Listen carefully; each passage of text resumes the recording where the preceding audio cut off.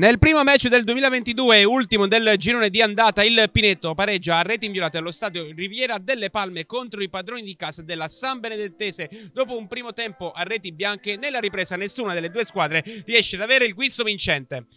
Calcio d'inizio per gli ospiti. Dopo un avvio contratto, sono i padroni di casa a creare la prima occasione. Fall riceve nel cuore dei 16 metri avversari. Provvidenziale il giovanissimo Capaldo a deviare in corner. Risponde il Pineto al 27esimo. Su azione insistita, Cercelluti prova a servire Romano. Per poco il pallone non si insacca con lo stesso numero 24 che non riesce a cercare di insaccare la ribattuta del palo.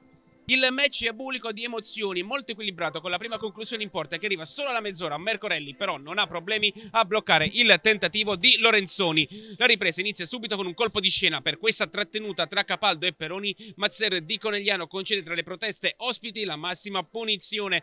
Dal dischetto Fall trova una grande risposta di Mercorelli che scende la saracinesca e mantiene la propria porta inviolata. La partita recita lo stesso copione del primo tempo con nessuna delle due compagini che riesce a trovare il pertugio vincente. I rossoblù provano a mettere la freccia al 68esimo su ripartenza bruciante. Peroni riceve e sfiora l'incrocio con un pregevole tentativo dal limite. La risposta abruzzese arriva dalla catena di destra. Su azione insistita in aria, i ragazzi di Pomante per poco non creano il vizzo giusto alla retroguardia di casa. Ci pensa a Brandini a disinnescare il tentativo a botta sicura di Pezzotti, conservando lo 0-0. Vince la Noi in un match equilibrato al Riviera delle Palme.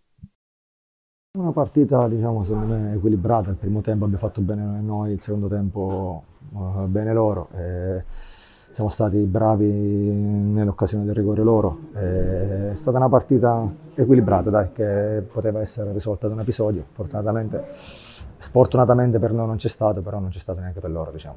Ma nel secondo tempo sicuramente, ma San Mattese è una squadra forte, l'ho detto prima a un tuo collega, San Mattese non è quella delle prime sette partite, eh, adesso è una, squadra, è una squadra vera una squadra formata da giocatori importanti, eh, si vede che è una squadra anche organizzata. È normale, una San Mettese secondo me può dare filo da torcere a tutti. Beh, gli obiettivi sono quelli di, di, trarre il massimo ogni partita, cercando di, di arrivare sempre possibilmente nella posizione più alta possibile, raggiungendo i playoff. Sì, io sono del parere che come hai detto tu, in questi casi quando hai visto che sbagli un rigore, giochi magari più di un'ora di, di, partita nella loro metà campo, alla fine hai visto con un tiro proprio di Pezzotti rischiavamo di perdere la partita. Quindi eh, sono contento della prestazione della squadra e l'atteggiamento è questo, dobbiamo essere forse un po' più cattivi eh, però la strada è ancora lunga e in salita. Sì, abbiamo un presidente ambizioso e questo ci dà la carica per affrontare al meglio le partite, però come ho già detto prima gli obiettivi è meglio non fissarli adesso, pensiamo partita dopo partita e poi vedremo.